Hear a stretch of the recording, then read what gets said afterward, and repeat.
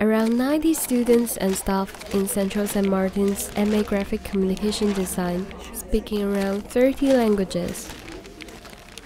We all share an interest in common, and this impacts how we talk about the course and subject in the first place. Graphic Communication Design.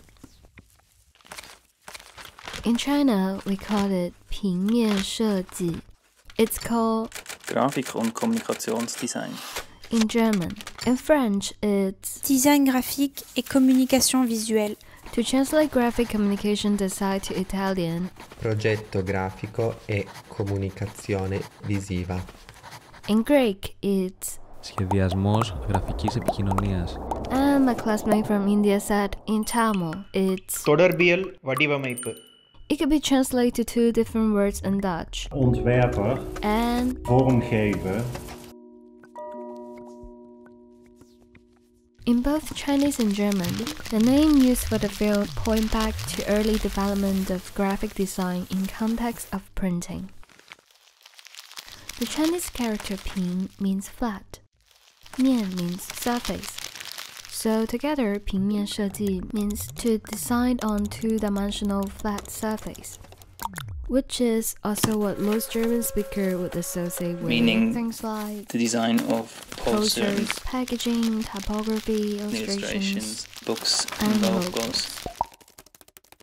Whereas in Tamil, graphic, graphic does not have a translation in Tamil the closest translation means painting, painting. Then how to distinguish painting, which is fine art, and graphic design in, in conversations? they simply use the english word Things get really weird when it comes to Greek translation. It can mean means graphic or picturesque, but it can also describe an eccentric or quirky person with a slightly negative connotation.